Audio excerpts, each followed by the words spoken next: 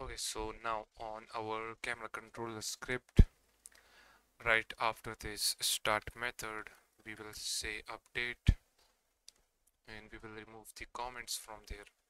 Okay? Now first of all what we're gonna do we will read the mouse inputs for rotation okay? For the mouse x and mouse y rotation. So for that what we're gonna do we will say float mouse x and this will be equals to input dot get axis okay and we want to get the mouse x rotation. And what we're gonna do? We will multiply that rotation by the sensitivity. And the reason we multiplied by the sensitivity so that we can handle the mouse sensitivity on the x rotation okay? And what we're gonna do we will do the same for our mouse y. Whoops. Let me actually copy this whole line like this and paste it down below and just simply change this to y and right here change the float name to minus mouse y as well okay?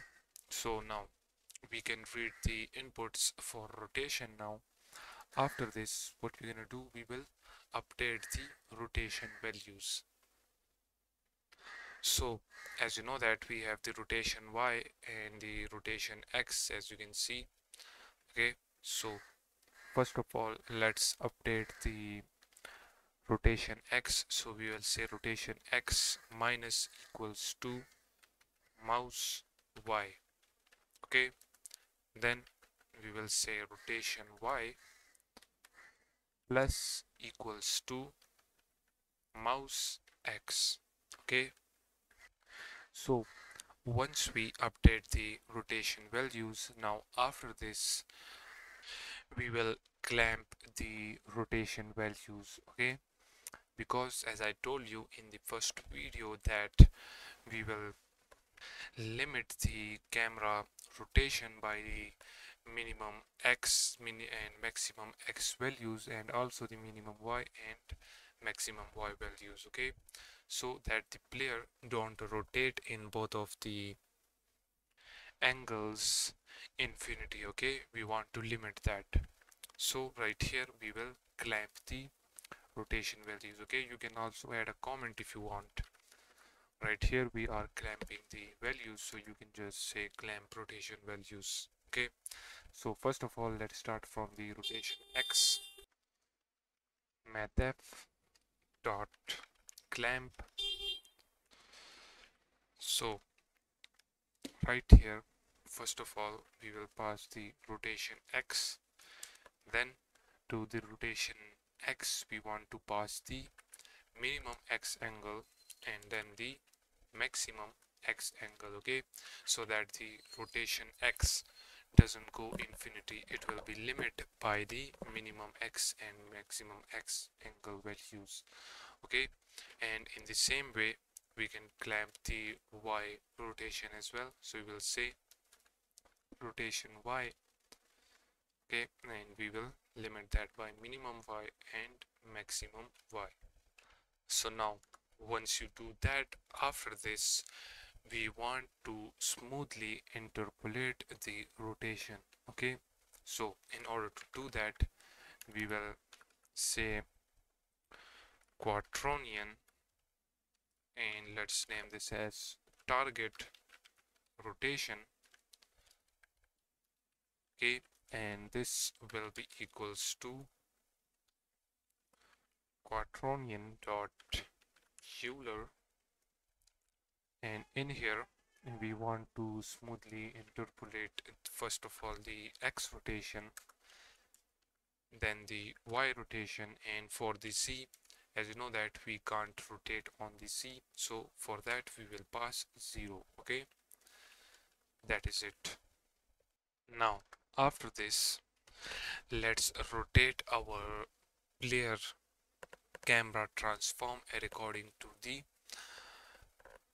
target rotation okay which we created right here and according to this uh, smooth speed okay and we will be rotating the camera with the time okay so that the rotation is smooth. So in order to do that we will say transform okay then dot rotation and this transform dot rotation will be our camera rotation. Since this script is attached to our camera then we want to apply all of the things. So for that we will say quaternion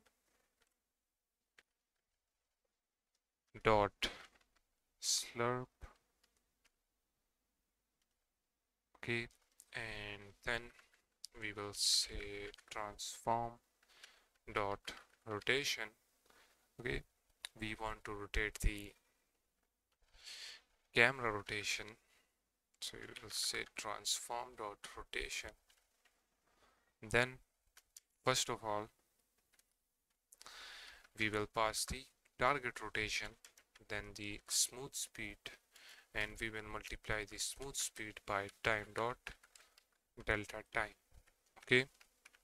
That is all for this camera movement. Okay? So now if we save the script and get back to unity. Now as you can see if we click on the camera everything is attached and ready. So if we go ahead and play the game you will notice now that when we rotate as you can see the camera is rotating. But if you notice the player is not rotating with the camera and as you can see it is showing the player whole body. But and also the player doesn't move in the direction of the camera as you can see the player don't move in that direction. Okay? So what we're gonna do we will add this code in our next video. But now if you notice the camera let me show you. Okay? If we click on the camera the camera can move to only minus 30 you can notice the rotation x of the camera okay which is minus 30 right here. And if you move down as you can see it is 30 and on this side it can move to minus 360 and then plus 360 like this okay? So everything else is working perfectly fine but now in the next video we will make the player move in the direction of the camera view. So for this see you guys in the next video